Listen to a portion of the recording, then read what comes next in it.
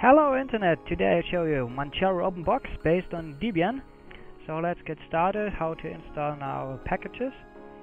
You type as usual sudo aptitude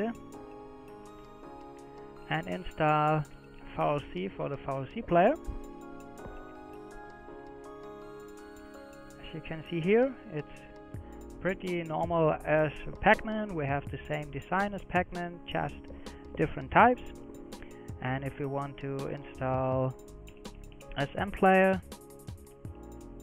just type it in with aptitude install. So that's SM player.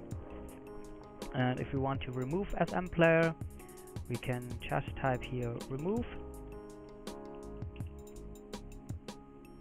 And if we want to update our complete system we write sudo aptitude and upgrade. First update. And then we can do our upgrade.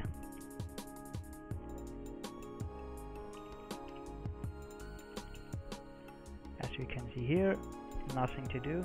So that's all for you. Aptitude is our new package manager and our open box version. See you later guys